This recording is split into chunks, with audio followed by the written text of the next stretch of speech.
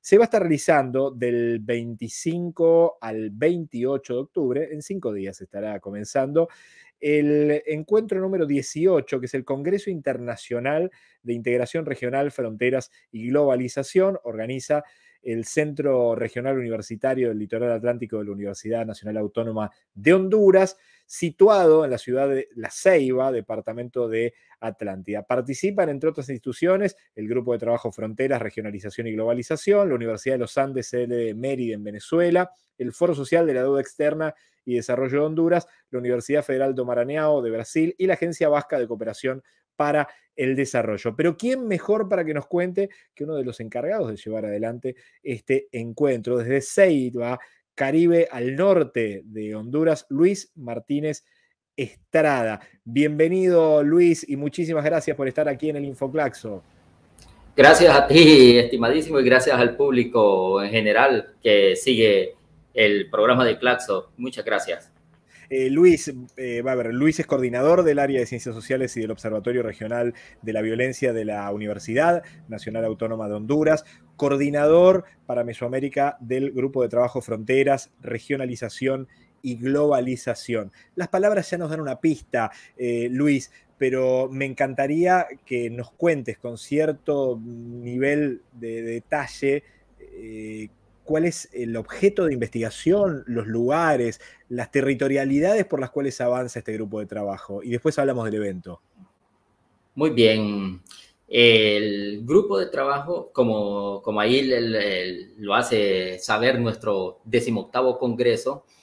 ya lleva mucho tiempo de circulación en este sentido. Desde 1987 aproximadamente, eh, uno de nuestros coordinadores, el doctor Juan Manuel Sandoval, comenzó una, una experiencia organizativa alrededor de investigadores e investigadoras sociales vinculadas a temas sobre territorialidad y una investigación y un análisis crítico de la situación que ocurría eh, en nuestra América Latina, producto de los cambios eh, paradigmáticos en materia política y económica. Esto, nos, esto llevó a todo un proceso durante la década de los 90 y los 2000 de ir configurando este grupo de investigadores e investigadoras con mayor eh, profundidad hasta incorporarse a Claxo ya en la década anterior. Desde entonces se han, ido, eh, se han ido desarrollando no solamente una experiencia conjunta de organización y producción científica a partir de congresos, sino también publicación de libros, publicación de investigaciones y esta investigación aplicada al acompañamiento de organizaciones sociales, movimientos sociales en diversos países de América Latina, sobre todo América del Sur y México. Y a partir del 2019, aunque ya previamente se habían hecho acercamientos, estamos trabajando ya con Mesoamérica, entendiéndose este, desde, desde, eh, desde la parte sur de, Panamá, en el Darién, hasta el norte del estrecho de Tehuantepec, eh, trabajando con mayor profundidad Centroamérica y el Caribe. Entonces, eh, esta es una experiencia colectiva de trabajo de investigación científica acompañado también de las luchas sociales y el desarrollo de conocimiento construido colectivamente, tanto con diferentes colectivos como eh, pueblos originarios, mujeres, juventudes y cientistas sociales. Eh, en ese sentido, Luis, digo, cuando uno habla de integración regional, es muy difícil no pensar en el momento que, vivimos y me es muy difícil no pensar en, perdimos una oportunidad de, a ver, de profundizar en la integración regional en medio de la pandemia? Digo, porque hubo todo un surgimiento al inicio de la pandemia de que por ahí podíamos ser mejores, que podíamos construir sociedades más justas, que podíamos pensar en lógicas de integración. Se perdió una oportunidad en la pandemia, estamos a tiempo de pensar en lógicas de integración regional para pensar el mundo más en conjunto, formas también de salir más cooperativas y menos individualistas. Eh, muy buena pregunta. Fíjate que en este sentido, eh, cuando hablamos de cooperación, cuando hablamos de integración, conceptos de este tipo, eh, lo podemos ver dependiendo de dónde vienen. Cuando hablamos de integración, por ejemplo, podemos hablar de integración de pueblos. Creo que los pueblos latinoamericanos desde nuestras bases, estamos integrados, te hablamos una misma lengua, compartimos ciertos eh, elementos culturales, eh, tenemos en particular eh, ciertas demandas, necesidades y también las luchas. Em, pero cuando se habla de integración regional desde los grupos de poder o desde los espacios globales, nosotros trabajamos desde nuestro grupo de trabajo el concepto de zonas especiales, por ejemplo, de, intensa acumulación. Cuando el poder, es decir, los grupos eh, transnacionalizados y los sectores políticos que están en las cúpulas hablan de integración, solamente se vincula a la integración económica. Y en la pandemia lo que estuvimos viendo nosotros es cómo las personas, las personas de a pie, eh, los colectivos más marginalizados, sobre todo aquellos que viven en situación de empobrecimiento, nos hemos, nos hemos visto en situaciones comunes de muerte por, por la pandemia, el inacceso a una salud de calidad. Sin embargo, los grandes potencias globales estaban pensando en integrarse económicamente para ver cómo cómo podían imponer sus vacunas, cómo podían cerrar sus fronteras para que no, no saliesen suministros. Entonces, el concepto de integración es muy interesante para hacer esta disputa, este, estos elementos, y es nosotros desde el grupo de trabajo, cuando eh, estamos trabajando el tema de integración, lo vemos desde diversos enfoques, los enfoques más macro, donde eh, bloques económicos se integran para poder mantener tener un status quo y reproducir un modelo capitalista, pero también lo vemos desde abajo, cómo nos integramos desde pueblos originarios. Y es así que este congreso que nosotros estamos impulsando, no solamente buscamos integrar la academia, sino también vamos a hacer un encuentro, un segundo encuentro de pueblos originarios para integrar a estos colectivos que históricamente han sido marginalizados tanto en Honduras, en Mesoamérica, como en América Latina, para poder construir redes y ver cómo podemos eh, apostar a, lo alternativo.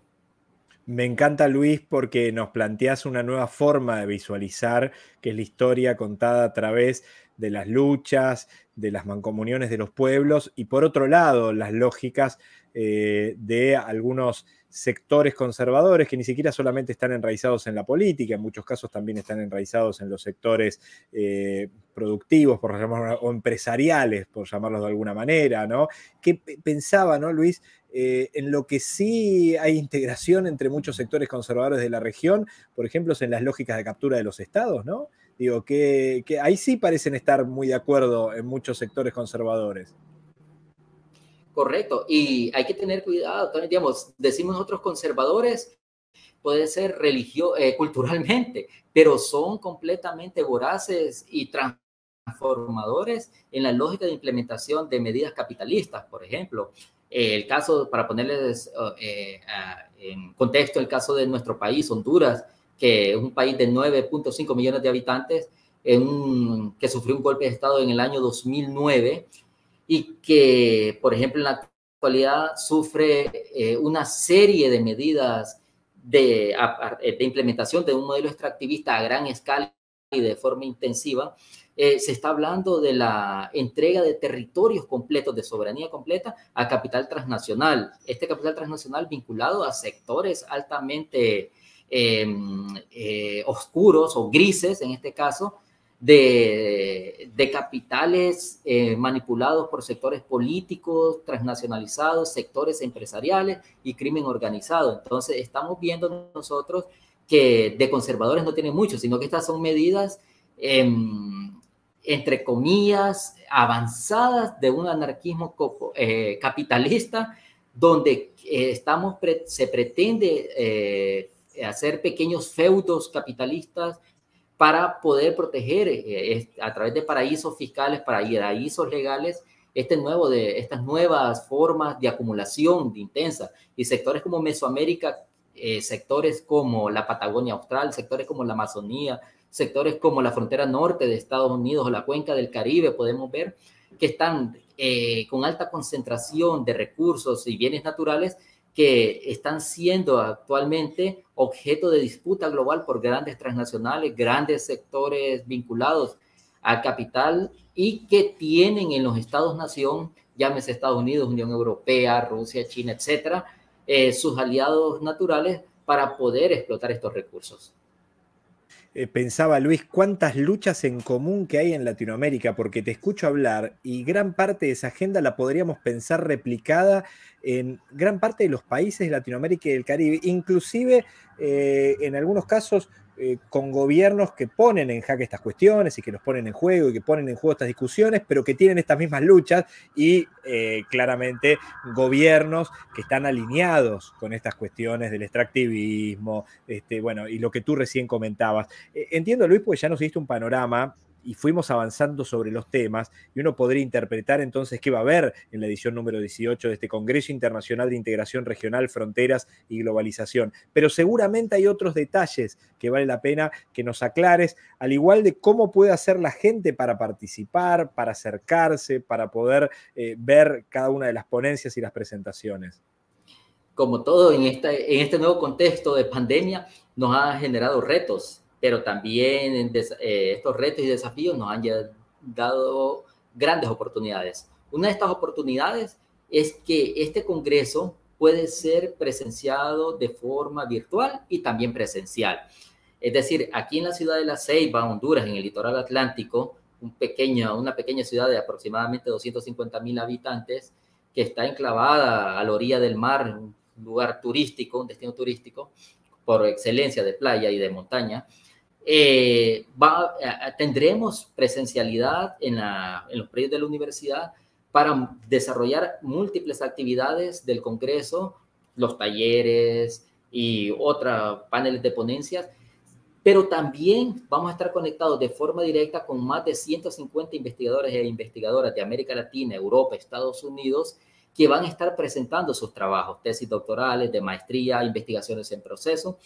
sobre este y otros temas, fronteras, migraciones, tenemos temas de movimientos sociales y, como dijiste previamente, cómo lograr articular e integrar todas estas temáticas que son afines a los sectores más marginalizados de la región latinoamericana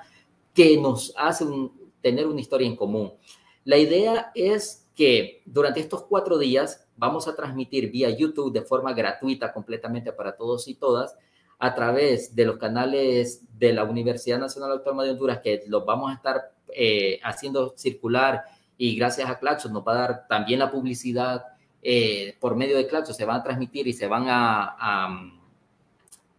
a, visualizar estos, estos enlaces. La gente en tiempo real a nivel de toda América Latina y donde se encuentren, van a poder participar e interactuar con nuestros panelistas y nuestros ponentes.